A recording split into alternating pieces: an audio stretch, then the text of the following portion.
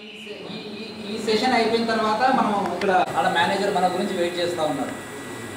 ఆడికి పోయిన తర్వాత మనకు తెలుస్తుంది కొన్ని విషయాలు ఆడ కూడా మనకు తెలుస్తుంది. ఈ సంస్థ కూడా ఈ సంస్థ కిందకి వచ్చేస్తే మన రైతులకు వచ్చే ప్రయోజనం ఏంటి? మన ఈ సంస్థ కిందకి వస్తే రైతులకు కలిగే ఉపయోగం ఏంటి?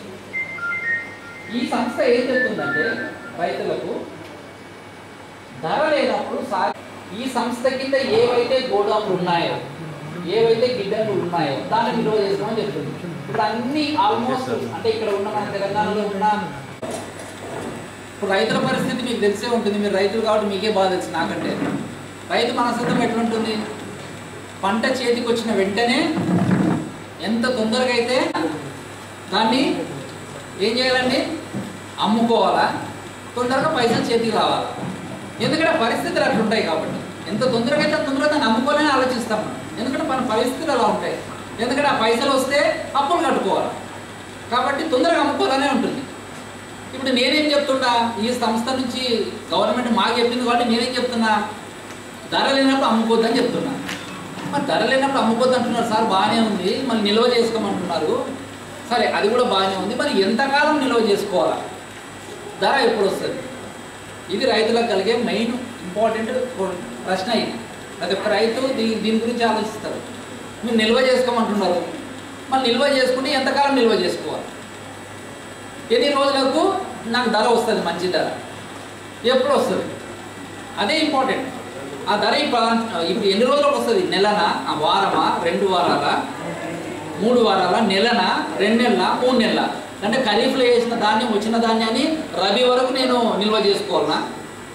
అనేది ఒక ప్రశ్న వస్తుంది ప్రతి ఒక్క రైతు ముందర. అప్పుడు ఎన్ని రోజులు నిల్వ చేసుకోవాలంటే నెల కావచ్చు రెండు నెలలు కావచ్చు.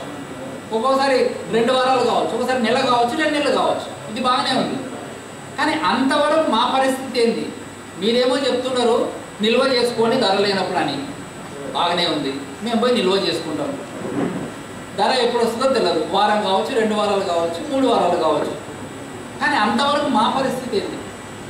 అంతవరకు అప్పులు వెంబడబడతా ఉంటారు మళ్ళీ మా పరిస్థితి ఏంది? అనేది కూడా రైతుకు ఒక క్వశ్చన్ ఒక ప్రశ్న అనేది వస్తుంది. దాన్ని బట్టి ఈ సంస్థ ఏం చెప్తుందంటే ఏదైతే రిజిస్టర్డ్ కాబడిన గిడ్డంగిల్లో రైతులు నిల్వ చేసుకుంటారో అంటే మనం పోయే గిడ్డంగి కూడా ఉంది ఇక్కడ. తెలంగాణ రాష్ట్ర గిడ్డంగి సంస్థ ఇక్కడే ఉంది కలెక్టర్ కాంప్లెక్స్ దగ్గర. ఏదైతే రి- రిజిస్టర్డ్ కాబడిన గిడ్డంగిల్లో నిల్వ చేసుకుంటారో నిల్వ చేసుకున్న వెంటనే మనకు ఒక రసీదు ఇస్తారు. ఫర్ ఎగ్జాంపుల్ ఉదాహరణ చెప్తున్నాను నేను ఒక పది క్వింటాలు ధాన్యాన్ని నేను గిడ్డంగికి తీసుకుపోతాను నిల్వ చేసుకోవడానికి. గిడ్డంగికి తీసుకుపోతాను నిల్వ చేసుకోవడానికి. గిడ్డంగి తీసుకుపోయిన తర్వాత ఆ పది క్వింటాల ధాన్యాన్ని గిడ్డంగి నిల్వ చేసుకోవడానికి తీసుకుపోతాను నేను నేను నీ లోని తీసుకుపోయిన వెంటనే అక్కడ ఉన్న మేనేజరు నా పది క్వింటాలు ధాన్యాన్ని లెక్క కట్టి ఏ ధాన్యము ఎంత ఎన్ని ఎన్ని క్వింటాలు ఉన్నాయి అనేది ఒక రసీదు రాస్తాడు. రసీదు రాసి ఆ రసీదులో మనం ఏ రోజైతే మనం గిడ్డానికి తీసుకుపోయి నిల్వ చేసుకోవాలనుకుంటామో ఆ రసీదులో దాని మార్కెట్ ధర ఎంత ఉంది ఆ రోజు. ఉదాహరణకు పది క్వింటాలు అనుకుందాము. పది క్వింటాలు అనుకుంటే ఒక క్వింటాకు పదివేలు వేసుకుందాం. ఎగ్జాంపుల్ చెప్తున్నా. ఉదాహరణ ఇది. ఒక క్వింటాల్కి పదివేలు వేసుకుంటే పది క్వింటాలకు ఎంత అవుతుంది? లక్ష రూపాయలు అవుతుంది. అప్పుడు ఆ రసీదులో ఏం రాస్తాడు? ఏ రోజైతే ఈ రోజు నిల్వ చేసుకుంటున్నాడో ఈ రోజు మార్కెట్ ధర లక్ష రూపాయలని ఆ రసీదులో రాసిస్తాడు. పది క్వింటాలు నా పేరు శ్యామ్ కుమార్ శ్యామ్ కుమార్ దగ్గర నుంచి పది క్వింటాల ధాన్యం తీసుకొచ్చినాడు నేను నిల్వ చేసుకుంటున్నా దీని ధర వచ్చేసి లక్ష రూపాయలు.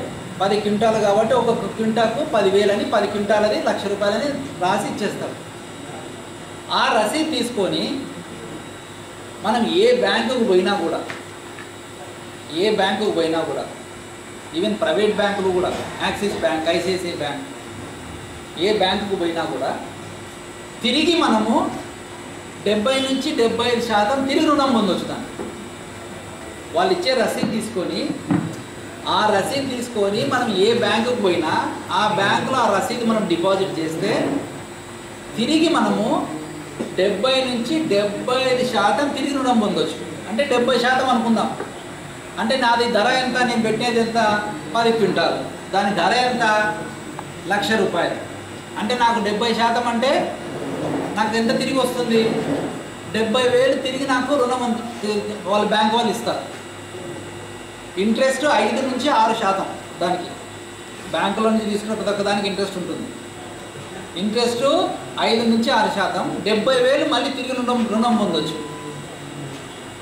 ఇక్కడ మీరు ఒక ప్రశ్న అడగొచ్చు నన్ను. సార్ మేము ఆల్రెడీ అప్పు తీసుకొని పంటలు వేసినాము. మళ్ళీ మీరు నిల్వ చేసుకొని మళ్ళీ అప్పు తీసుకోమంటున్నారు. ఇక్కడ నేను చెప్పేది ఏంటంటే ఈ అవగాహన సదస్సు అనేది రైతులకు ఈ విషయం తెలాలి అందుకోసం ఈ కార్యక్రమం ఏర్పాటు చేశాను మేము అంటే మనము ధర లేనప్పుడు నిల్వ చేసుకోవాలి. నిల్వ చేసుకుంటే రైతుకు వచ్చే లాభం ఏంటి అంటే ఒకటి ధర లేనప్పుడు అమ్మి నష్టపోకుండా మనం మనము కాపాడుకోవచ్చు. ధర వచ్చినప్పుడు అమ్మి లాభపడవచ్చు సరే మనం నిల్వ చేసుకుంటే ఆ నిల్వ చేసుకున్నన్ని రోజులకు మనకు కావాలనుకుంటే వాళ్ళు ఇచ్చే ఆ మన గిడ్డంగి వాళ్ళు ఇచ్చే రసీదు తీసుకొని బ్యాంకుకి వెళ్ళి ఆ రసీదు బ్యాంకులో మనం డిపాజిట్ చేస్తే మనకు తిరిగి డెబ్బై శాతము డెబ్బై నుంచి డెబ్బై ఐదు శాతం తిరిగి రుణం దొరుకుతుంది మనకు. వచ్చిన తర్వాత దాన్ని అమ్మేసేసి లాభం రావడానికి ఆస్కారం ఉంటుంది. ఈ ఒక్క ముఖ్య ఉద్దేశంతో ఈ కార్యక్రమాన్ని ఏర్పాటు చేశారు. ఇప్పుడు మీరు అడగవచ్చు సార్ నిల్వ చేసుకోవాలంటేనే ప్రాబ్లం. మేము ఎంత తొందరగా అంత తొందరగా అమ్ముకోవచ్చు. అది కాకుండా మంచి ధర వచ్చేలాగా గవర్నమెంట్ చేయొచ్చు కదా. ఇది కూడా గవర్నమెంట్ కూడా ప్రయత్నిస్తూనే ఉంటుంది. కానీ ఇక్కడ ముఖ్య ఉద్దేశం ఏంటంటే ఇది ఎప్పుడు జరుగుతుందంటే నిల్వ చేసుకోవాలనేది ఎప్పుడైతే పంట మార్పిడి జరుగుతుందో అప్పుడు నిల్వ చేసుకోవడానికి ఆస్కారం ఉంటుంది. ఇప్పుడు మీకు అందరికీ తెలంగాణ తెలిసే ఉంటుంది. గవర్నమెంట్ కొనుగోలు కేంద్రాలు పెట్టి కొంటానే ఉంది. కాబట్టి నిల్వ చేసుకునే అవకాశం అవసరం లేదు మనకు. కానీ గవర్నమెంట్ కొనుగోలు కేంద్రాలు మేము బంద్ చేసేస్తాం. ఇప్పుడేదో రైతుల మీద ప్రేమతో కానీ ఏదైనా రైతుల కష్టాలు ఉండాలని కొనుగోలు కార్యాలు పెట్టి రైతు గవర్నమెంట్ కొంటా ఉంది. ఈ కొనుగోలు కార్యాలయాలను మేము మూసేస్తాము. మీరు అమ్ముకోవాలి మీరు మార్కెట్లోనే పోయి అమ్ముకోవాలి అనుకున్నప్పుడు ఆ పరిస్థితి వచ్చినప్పుడు లేకపోతే పంట మార్పిడి జరుగుతున్నప్పుడు అంటే ఈ సంవత్సరం ఇదేసి రవిలో ఒకటేసి ఖరీఫ్లో ఒకటేసి అట్లా పంట మార్పిడి జరుగుతున్నప్పుడు అమ్ముకోవడానికి పోతే ధర లేనప్పుడు నిల్వ చేసుకుంటే రైతుకు ఎంతో లాభం చేకూరుతుంది.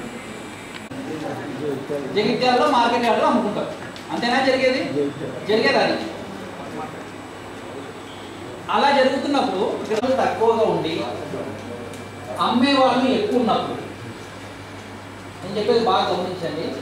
కొనేవాళ్ళు తక్కువగా ఉండి అమ్మే కొనేవాళ్ళు జనరల్గా ఇదే జరుగుతుంది. కొనేవాళ్ళు తక్కువ అవుతారు అమ్మేవాళ్ళు ఎక్కువ. అందరు పంట పండిస్తారు అందరు మార్కెట్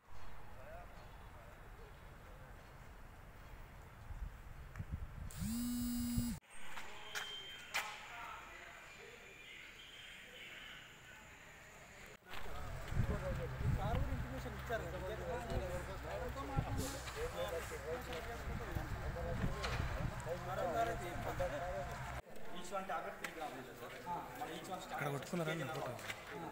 అది నలభై రోజులకు ఒకసారి చేసి దీన్ని ఇట్లా ఏం చేస్తారు? దీన్ని మూసేస్తారు. దీన్ని మూసేసి సెవెన్ డేస్ తర్వాత తీసేస్తాం సెవెన్ డేస్ తర్వాత ఎటువంటి స్టాక్స్ ఏమైనా పురుగులు ఉన్నా చనిపోతుంది ఏ టు జెడ్ చనిపోతుంది అదే ధాన్యానికి ఏం కాకుండా ఉన్నాయి. కాపాడు దాన్ని కాపాడడానికి కరెక్ట్ అది కెమికల్ పనిచేస్తుంది. సరే. దానికి ప్రత్యేకించి ఏమైనా చార్జెస్ ఉంటాయా మళ్ళీ?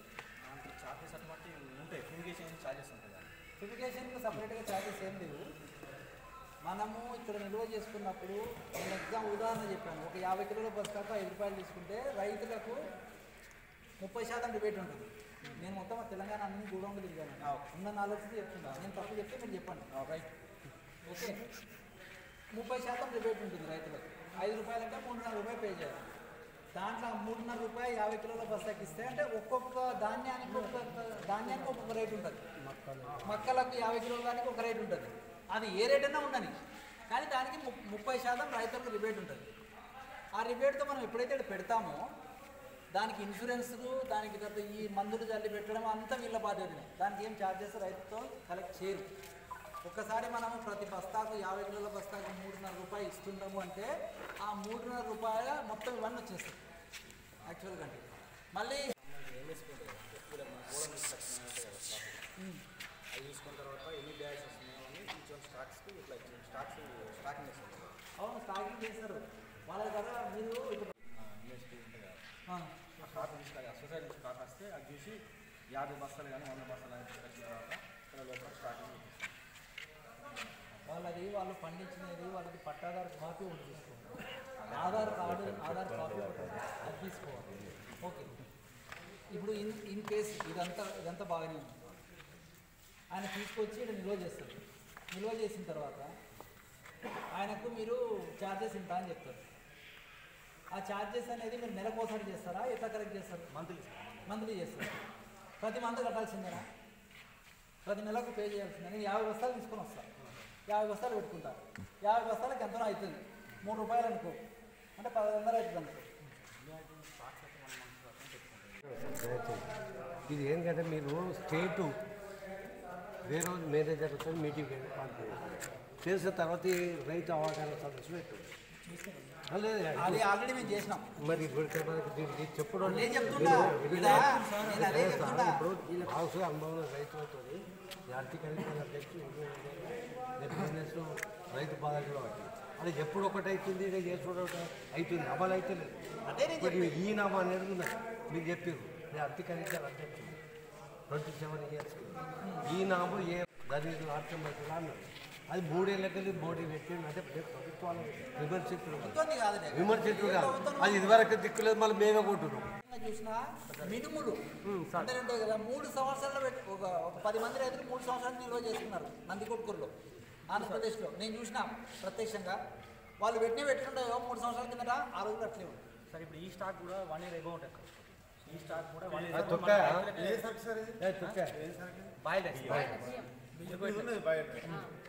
ఈ బాయిల్ రైస్ ఏం రాదు. మీరు అన్నారు ఎక్కువ వచ్చేది పసుపు. పసుపు. ఫస్ట్ పాయింట్ ఏంటంటే మన ఈ రైతులకు కావాల్సింది ఏంటంటే జనరల్గా బియ్యము మినుములు అవన్నీ అవసరం లేదు. వీళ్ళకి కావాల్సింది. ఏరియా-. జనరల్ ఐదారు జిల్లాలు ఇలా పసుపు పురుగు